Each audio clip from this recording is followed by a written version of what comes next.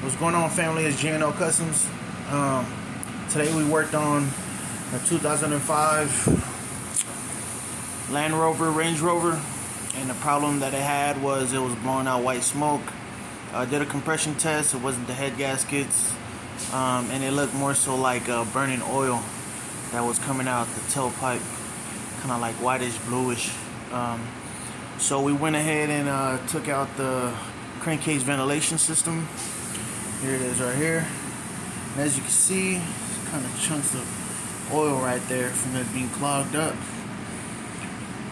So uh, we put the new one in, right back there. And uh, hopefully we get a difference, man. We're gonna find out right now.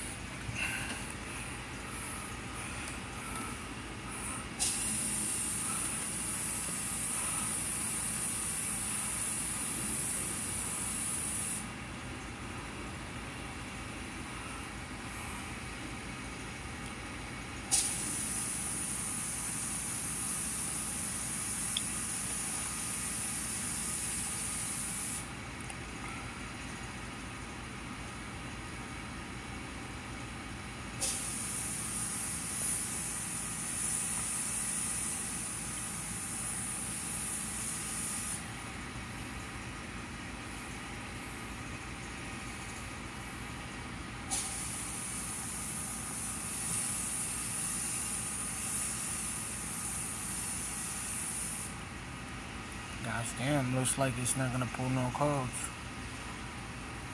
It's not a good thing though. I know that's bullshit off tops because um, I got two of the downstream um, O2 sensors plugged out. So that didn't read. It's kind of fishy, you know what I mean? Okay. There you go.